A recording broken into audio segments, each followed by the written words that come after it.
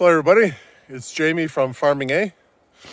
So today we're going to show you guys how to not break your backhoe. Yep,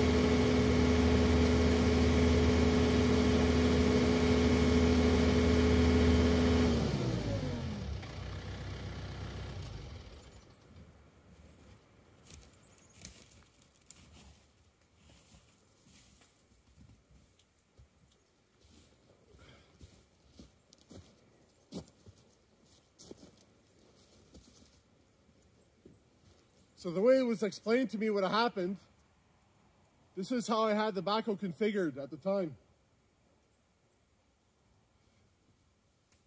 I had this uh, in the earth, pulling up uh, some uh, loose earth and maybe some, some small roots about this size.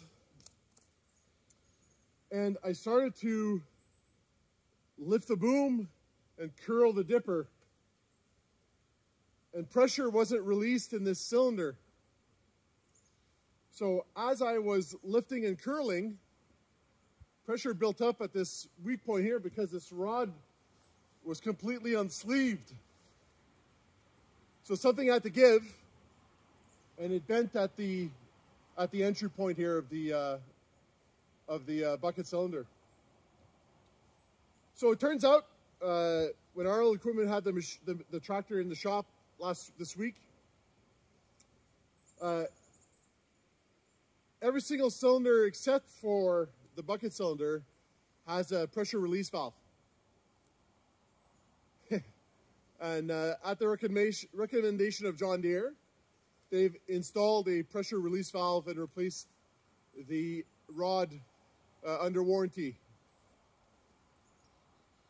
So this is what you don't do. Uh, the machine you just have to be careful when you rip out stumps. So when it's loose earth, it should be fine. But you still still have to be mindful on how to use the equipment. It's not it's it's it's not fragile, but you can break it. Obviously. Yep.